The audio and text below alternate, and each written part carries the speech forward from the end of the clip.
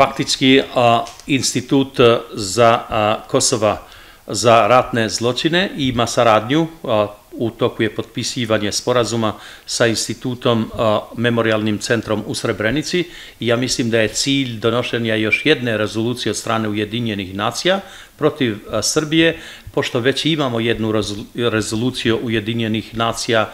o Srebrenici zbog ratnih zločina. Ja mislim faktički svi koji su bili u toku bivše Jugoslavije imaju a, isti cilj, trebaju da imaju isti cilj i da se sve zna a, koje su zločine učinili bilo ko, ali u ovoj situaciji govorimo o a, vojsi Srbije. I ja mislim da a, ratni zločini koji su počinjeni od strane Srbije a, čak nije u interesu srpskog naroda da se to a, krije i dovoljno je 25 godina, mislim, nakon oslobođenja da bude saradnja sa svima, koji doprinose miru u, u teritoriji bivše Jugoslavije, ali sad kažemo u svim državama koje su po, faktički nakon raspadanja Jugoslavije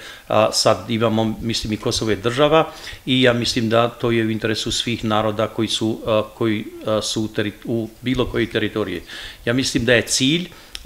pripremanja i donošenja eventualne još jedne rezolucije od strane Ujedinjenih nacija protiv Srbije o zločinima, o genocidu koji je učinjen na, u toku rata na Kosovu. Pa time bi dobila jednu satisfakciju kao što su dobili u Srebrenicu, jer a, time faktički otvaraju se i putevi za tužbe u međunarodnim sudovima, ali mora da se zna šta je, šta je sve bilo u toku rata i na Kosovu i u Bosni i naročito govorimo o Srebrenici u konkretnom slučaju, jer vidite da se to prikrilo više, skoro 30 godina, ali na kraju i Ujedinjene nacije su već verifikovali to i doneli su rezoluciju o zločinama, o genocidu koji je učinjen u Srebrenicu i ja mislim da to doprinosi miru, a ne, a ne kontra.